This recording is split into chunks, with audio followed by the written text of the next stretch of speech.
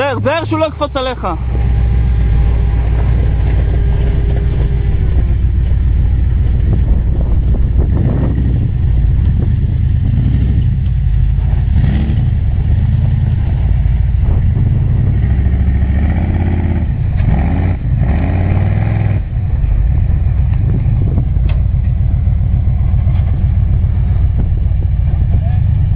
כן, יאללה.